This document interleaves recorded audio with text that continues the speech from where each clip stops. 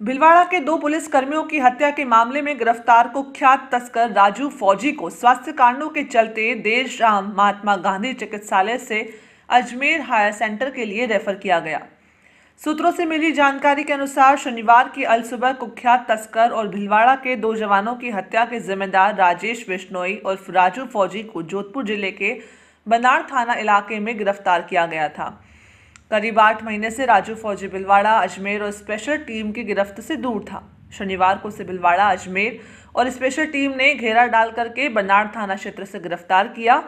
गिरफ्तारी से पहले उसने पुलिस पर फायरिंग की और जवाबी फायरिंग में गोली लगने से वह घायल हो गया था। जोधपुर में इलाज के बाद उसे भिलवाड़ा लाया गया, जहाँ महात्मा गांधी चिकित्सालय में इलाज के बाद उसे हायर सेंटर रेफर कर दिया गया। अतिरिक्त पुलिस अधीक्षक शाहपुरा चंचल मिश्रा के नेतृत्व में पुलिस टीम ने कड़ी सुरक्षा और हथियारबंद जवानों के साथ उसे एमजी हॉस्पिटल से अजमेर के लिए रवाना किया है।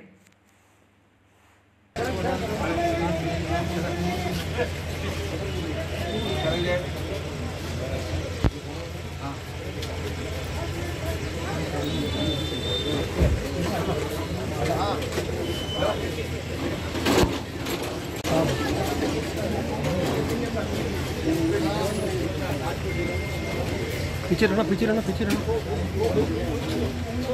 पीछे रहना रे रवि चलते रहो भाई, चलते रहो, रास्ता बंद मत करो। भीड़ मत करो भाई।